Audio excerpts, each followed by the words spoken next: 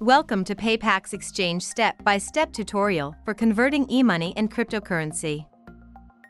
I'm Alicia and I'm exited to give you a quick tutorial to PayPax Exchange service and show you how to use it step by step. To use Exchange services, register on PayPax and log into your account.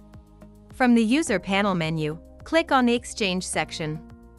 You can use PayPax Exchange to convert different currencies in three simple steps to exchange Tether, WebMoney, Perfect Money, PayPal, and other currencies at the first step, you need to deposit the desired currency to your PayPax USD wallet to top up your balance.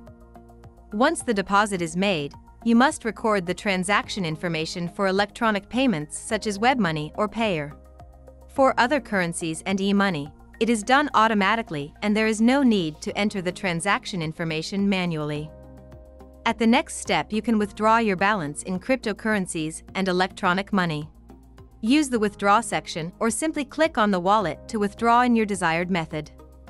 At the second step you can withdraw your balance in the desired method.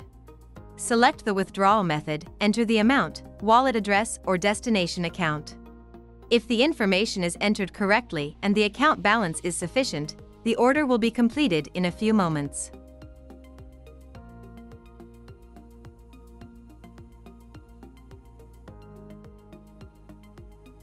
At the final step you see the exchange result and transaction details.